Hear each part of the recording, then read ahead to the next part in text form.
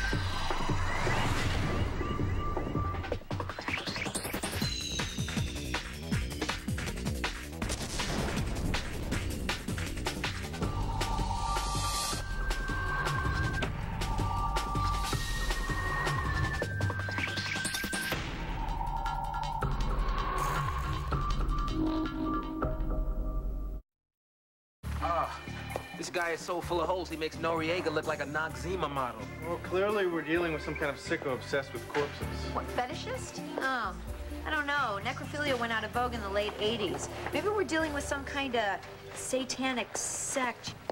Hi, guys. Hey, Vera. Hey, Tucker. Have you been working out? Uh, a couple days a week. Well, keep it up. Those shoulders are getting so beefy. Grace, your ferret just died. What? Oh, yeah. Your mom called. Uh, she left a message. She said she couldn't bear telling you herself. Pookie's dead? She's FedExing his ashes. Sorry.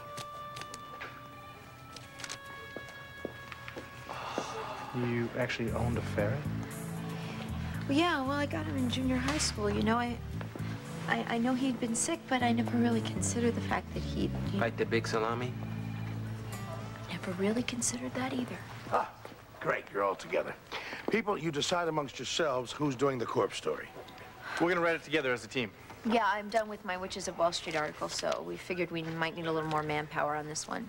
Fine, but uh, not before you look through that Wall Street article one more time. I'm not getting the sense that the Coven is a legitimate brokerage firm. Well, of course it's not legitimate. They're witches, for God's sake. Grace, are you giving me lip? Fine. Whatever makes you happy. In the meantime, I've got a surprise for you people.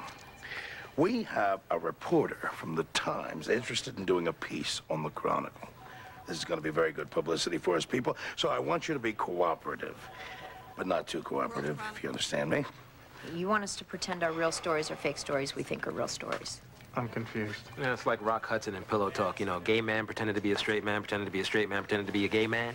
Exactly. She doesn't believe any of this stuff anyway, so uh, you just give her what she wants and nothing more. Is that clear? Ah, here she is. People, I would like you to meet Miss... Kristen? Hello. You two know each other? Old college buddy.